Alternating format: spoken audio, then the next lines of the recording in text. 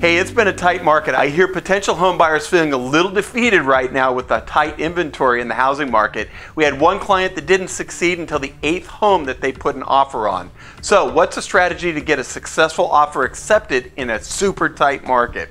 I decided to check it out, so I did some research with successful buyer's agents, and this is their advice. All right, ready? Here it comes. First, buyers should write out a list of needs or must haves and wants to streamline their house hunting efforts. If four bedrooms is the minimum needed, why look at three bedrooms? It's a waste of time that you just don't have. Everyone should expect that sellers will receive multiple offers, some below list, some at list, and probably a bunch over. This means that if a buyer finds a house that they like, they make the best offer right away. It's not a time to play games. They want to get in and strike hard. Offering below can be a disadvantage unless it's overpriced to begin with that's another caution in this market. Sellers may be trying to get more than the home is worth, and it may not appraise for that value, of course. If possible, home buyers can negotiate a two month rent back, give the sellers time to purchase another home, and get out of that one into their new home.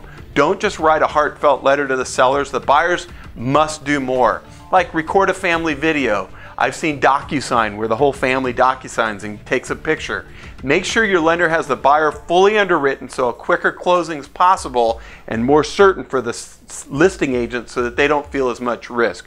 Well, these are the top six recommendations that will help buyers succeed in a tight seller's market. If you have other strategies to share, please email or call. We'd love to hear them, love to share them. And now for minding your own business.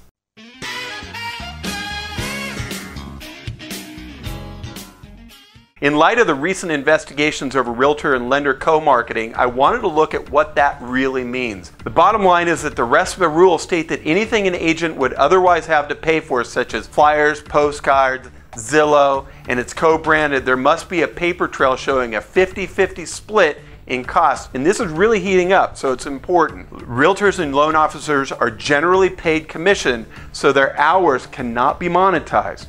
If either has an hourly paid employee that's involved in the development or implementation of the co-marketing campaign, those costs must be accounted for in the split. Co-marketing is a great thing to do, just do it in a reasonable fashion that's going to keep you protected, both your partners and yourself. It's not personal and you're not doing yourself a favor if you have your hand out wanting freebies from loan officers or any of your vendors, it's actually going to cost you if you get a RESPA violation and you're fined, and it could cost you big.